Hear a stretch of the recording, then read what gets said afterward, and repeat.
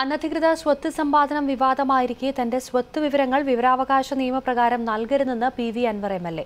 Kerala financial കോർപ്പറേഷനിൽ നിന്ന് വായ്പയെടുക്കാനായി സമർപ്പിച്ച ആസ്തി വിവരങ്ങൾ പുറത്തുവിടരുതെന്നാണ് എം എൽ എയുടെ നിർദ്ദേശം. ഭൂപരിധി നിയമം ലംഘിച്ച് P V Anvar M L A അനധികൃത ഭൂമി കൈവശം വെച്ചിട്ടുണ്ടെന്ന പരാതിയിൽ റവന്യൂ വകുപ്പും ലാൻഡ് ബോർഡും അന്വേഷണം നടത്തുകയാണ്.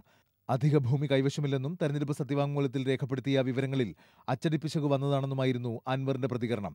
തെരഞ്ഞെടുപ്പ് സത്യവാങ്മൂലത്തിൽ തന്നെ നാല് കോടി ഇരുപത്തിയഞ്ച് ലക്ഷം രൂപയുടെ ബാധ്യതയും പി വി അൻവർ കാണിച്ചിട്ടുണ്ട്. കേരള ഫിനാൻഷ്യൽ കോർപ്പറേഷനിൽ നിന്ന് വായ്പ എടുത്തതാണെന്നും പറയുന്നു. ഈ വായ്പ കിട്ടാൻ ആധാരമായി എം എൽ എ ഹാജരാക്കിയ സ്വത്ത് വിവരങ്ങൾ നൽകണമെന്നാവശ്യപ്പെട്ടാണ് പൊതു താൽപര്യം മുൻനിർത്തി മലപ്പുറത്തെ വിവരാവകാശ കൂട്ടായ്മ കെ എഫ് സിയെ സമീപിച്ചത്. വിവരങ്ങൾ കൈമാറുന്നതിന് എതിർപ്പുണ്ടോയെന്ന് K F C P V അൻവറിനോട് രേഖാമൂലം ചോദിച്ചു. വിവരങ്ങൾ നൽകരുതെന്ന നിർദ്ദേശമാണ് എം എൽ എയിൽ നിന്ന് കിട്ടിയതെന്നാണ് വിവരാവകാശ കൂട്ടായ്മയ്ക്ക് കെ എഫ് സിയിൽ നിന്നുള്ള മറുപടി.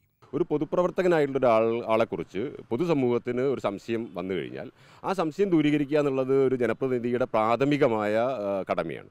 ഇവിടെ ആ കടമ നിറവേറ്റപ്പെടുന്നില്ല.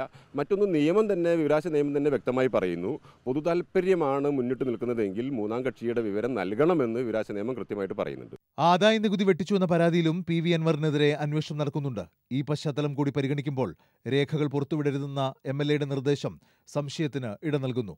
വിവരാവകാശ നിയമം നിഷേധിക്കപ്പെട്ടത് ചൂണ്ടിക്കാട്ടി മുഖ്യ വിവരാവകാശ കമ്മീഷണർക്ക് പരാതി നൽകാനാണ് വിവരാവകാശ കൂട്ടായ്മയുടെ തീരുമാനം. ബിനുരാജ് ഏഷ്യാനെറ്റ് ന്യൂസ് കോഴിക്കോട്.